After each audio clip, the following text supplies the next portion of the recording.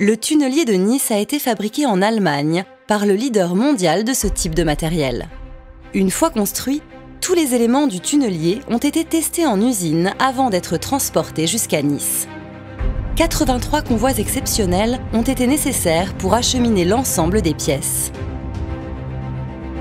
Il a été assemblé directement au cœur du puits d'entrée rue Ségurane et son montage a duré près de trois mois. Le tunnelier, prénommé Catherine, en hommage à Catherine Ségurane, personnalité niçoise emblématique, a été baptisé en janvier 2016 par Christian Estrosi. Découvrons à présent la technique du creusement. La paroi du tunnel est constituée d'anneaux en béton armé appelés voussoirs. Ils sont descendus par un portique dans le puits d'entrée du tunnelier à 18 mètres de profondeur, puis transportés dans le tunnel par deux trains sur pneus pour les acheminer jusqu'à la tête du tunnelier. La roue de coupe qui compose l'avant du tunnelier est munie de molettes en acier permettant d'excaver la terre. Mélangée à la boue de forage, elle est dirigée dans une canalisation, emportant les matériaux vers la station de traitement située sur le port, quai Cassini. Pour creuser sur la largeur de l'anneau à poser, soit 1,60 m, les 15 vérins de poussée du tunnelier prennent appui sur le dernier anneau en béton réalisé. Le voussoir est positionné sous les recteurs par un palan. Il est ensuite aspiré et mis en position contre la paroi, suivant un plan déterminé par le pilote. Cet anneau est boulonné, assurant la connexion entre les voussoirs. Pour fermer l'anneau, un voussoir plus petit est mis en place et sert de clé de voûte.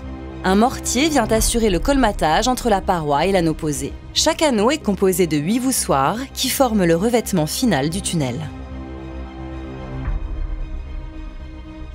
Le tunnelier était en fonction 24 heures sur 24 et 6 jours sur 7.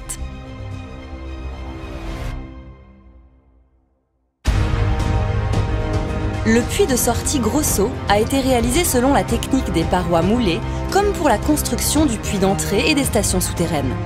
Avant le percement de la dernière paroi moulée par le tunnelier, le puits de sortie a été rempli d'eau pour équilibrer la pression exercée à l'avant de la roue de coupe et ainsi accueillir la machine en toute sécurité. Le puits a ensuite été vidé de son eau afin de permettre le démontage de l'avant du tunnelier.